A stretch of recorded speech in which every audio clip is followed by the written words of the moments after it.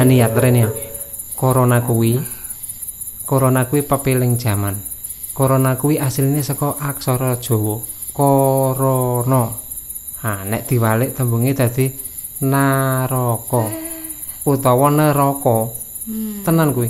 Nah, angka 19 kuwi gabungan saka angka siji lan 9.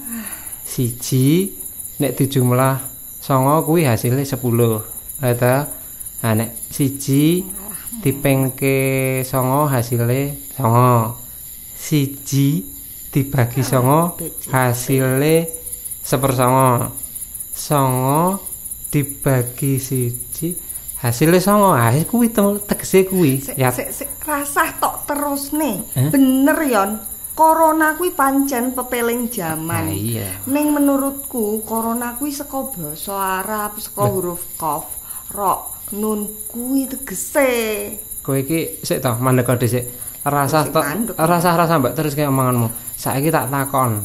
Lemu entuk bahan kuwi mulai saka Google ta kuwi mau? Ayo, oh. Alah lah. Google kok digugu ora valid, ora valid. Lah nek kowe lentuk skondi. We ya saka impen. Ngene, mau bengi aku Jaman turu. Ngene lho. Mau bengi aku turu panggonan kene. Njur diimpeni bab corona kuwi. Tenan. Lagu lama ora percaya aku wis jelas tembung corona kuwi saka basa Arab. Ora. Ora ora. Kuwi saka basa Jawa. Basa Arab, Basa Jawa. basa Arab. Basa Jawa dikandani kok. Ngeyel. Sing ngeyel kowe kuwi. Ayo kuwi kuwi